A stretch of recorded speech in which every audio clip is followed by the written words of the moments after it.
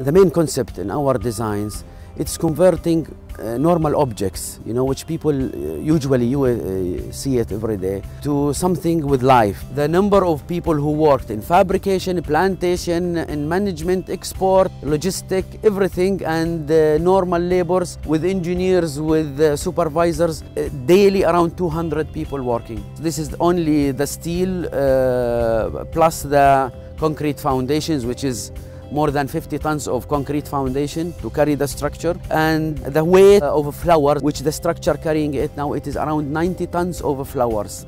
The white we depend in the early season plantation which is the fall season now. We depend on surfinias and petunias but uh, later on we are going gradually to uh, convert it to geraniums it is 24 meter.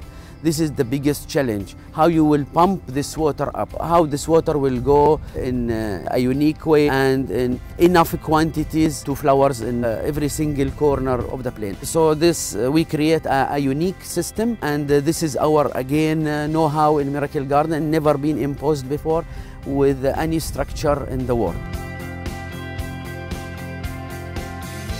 This season we will open uh, 27th of uh, November and it will be open for, for public.